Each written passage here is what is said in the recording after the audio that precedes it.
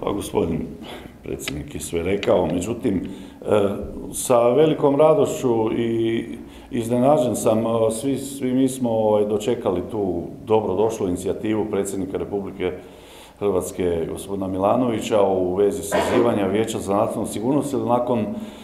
dvomjesečne, gotovo dvomjesečne šutnje na istu takvu inicijativu koja je došla od strane premijera Plenkovića u vezi krize u Ukrajini, eto, konačno ću se sastat, e,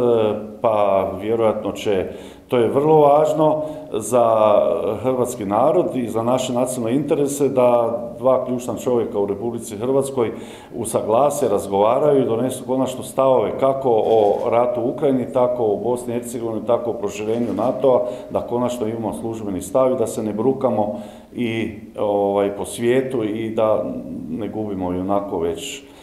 debelo nagrižen međunarodni, međunarodni i autoritet i integritet. Mislite da se zapravo Vijeće za nacionalnu sigurnost trebalo e, sastati odmah e, nakon što je počeo rat u Ukrajini? Dakle, prije 70 dana je e,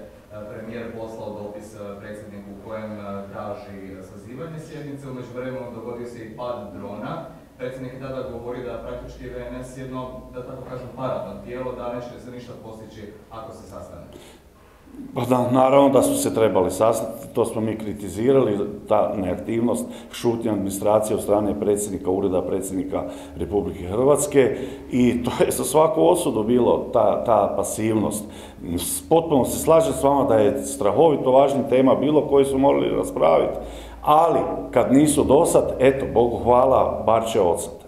A je situacija u Bosni i Hercegovini jači razlog za sazivanje te sjednice od rata u Ukrajini i pada drona u Zagrebu? Pa koliko je jak, ja sad ne bi licitirao, to je subjektivno pitanje, ali objektivno gledajući, sve tri teme su strahovito važne. Sve tri teme su strahovito važne i neka se usaglase.